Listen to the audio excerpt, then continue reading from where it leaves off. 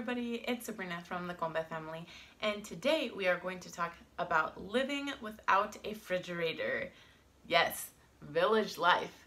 Okay, so let's get started with our pros and cons of living without a refrigerator. So at the end, I will give you my two cons, but I have five pros before that. So let's go ahead with the positives first. So the first positive is mainly a positive, but could be a negative. So it is that at each meal, all of the food gets eaten.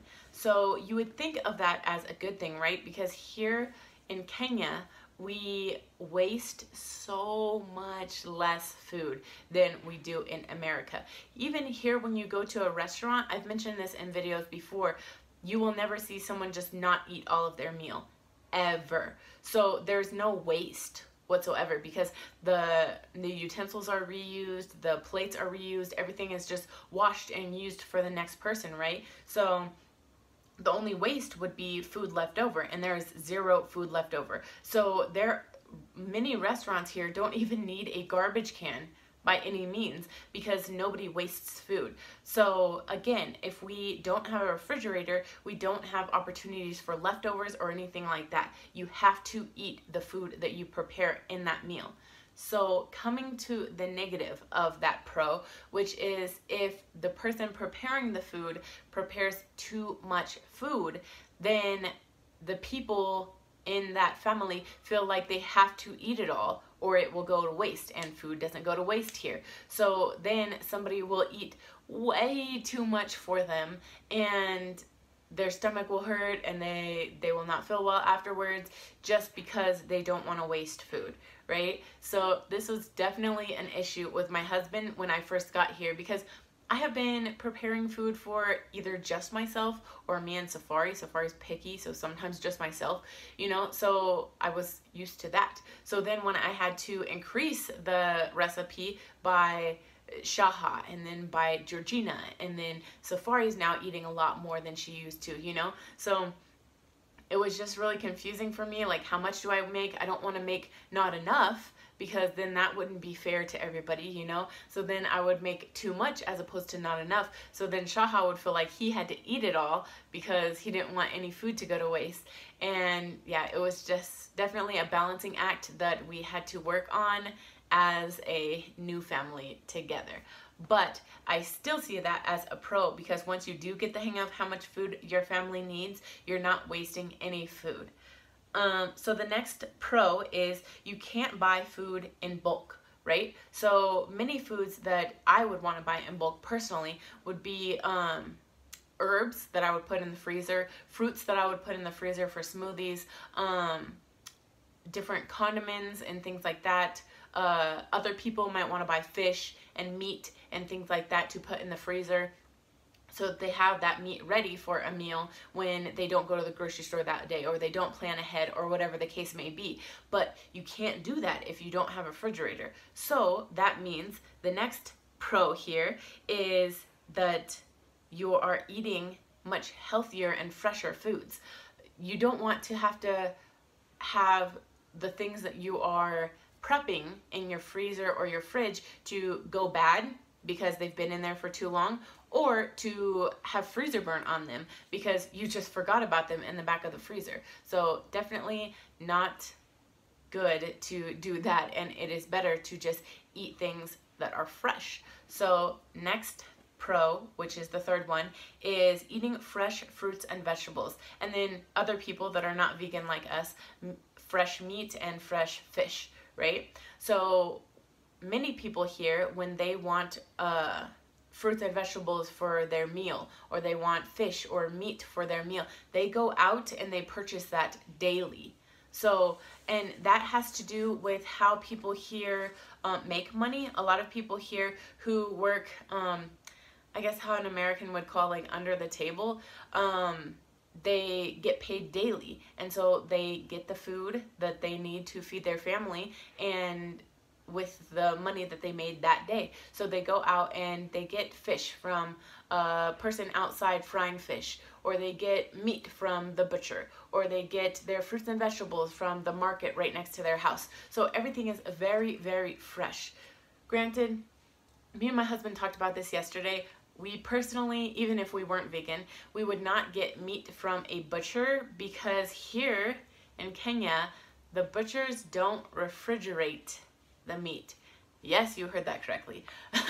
the butchers don't refrigerate the meat. So they want, I guess, you to see the meat like hanging in the window so you could see like, oh, today they have a goat. Oh, today they have a cow, you know? So they just hang it from a hook in the window where there is no refrigeration. So yeah, definitely nasty. And my husband was like, I would never get meat from a butcher. If I were to buy meat or get meat, I would kill the goat myself, kill the chicken myself, because that just seems so unsanitary. So that's just a side note for you guys. But yeah, overall, get your stuff locally and the day that you use it because then it will be the freshest.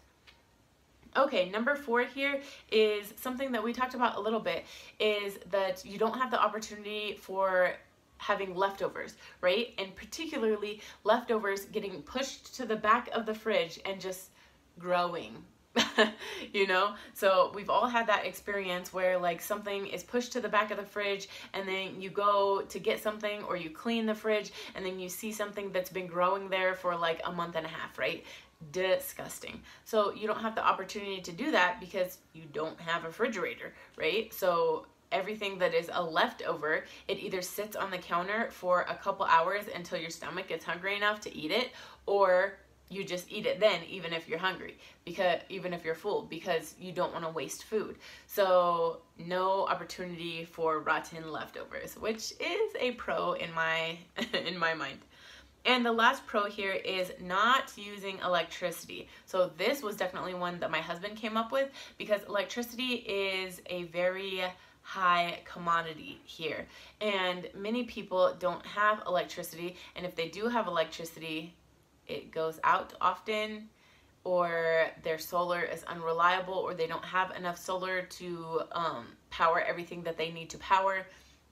So it's very hard to come by electricity here. Often people don't have enough electricity at their house to even power the lights that they have, like one light inside, one light outside. They don't have enough like solar panels to cover that much lighting. So they will have to take their phones to get charged at like a place in town and they'll pay like 10 shillings to get their phone charged and then go home with their charged phone. So that's how intense electricity here can be. So not using electricity if you don't have to, especially with something that needs to be plugged in 24 7 is definitely something to think about. So if you don't have a refrigerator, you're not using all of that constant electricity, which is definitely a pro.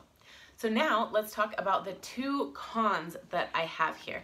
So the first con is that if you need medication that has to be stored, that is definite, or that has to be refrigerated, stored, that is definitely a problem because you don't have anywhere to store it, you know? Especially on the coast, which is where our village is, it is very, very hot, you know? So even if you go and buy ice, the ice will melt in a couple hours. So you can't even keep it cold that way. So sometimes you just have to not refrigerate it, even though it says it has to be refrigerated, and hope that it still works the way that it needs to work. So for example, they gave us, I think it was penicillin, I'm pretty sure it was penicillin, for one of my nieces when she had an infection.